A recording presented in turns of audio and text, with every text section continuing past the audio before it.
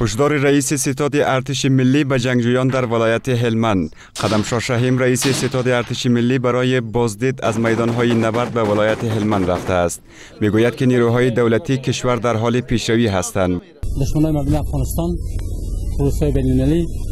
قاچاقبری مواد مخدر و استخبارات منطقه دست به دست هم دادن در سراسر افغانستان و اعمال توریستی و دهشت افکنی دست زدن متاسفانه که از دو هفته آخر ما شاهد عملات گسترده دشمنان مردم افغانستان در هلمند هستیم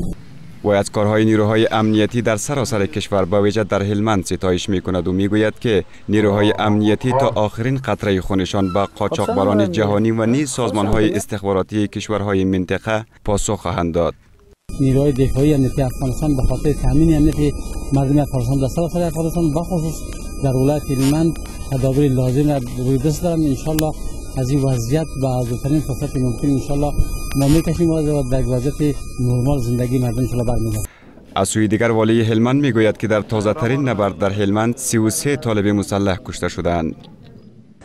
دو د همدې ظلم د پاره راغلي دي. د دو دا کرغړنه څیره ټول ولسو ته رسوا ده.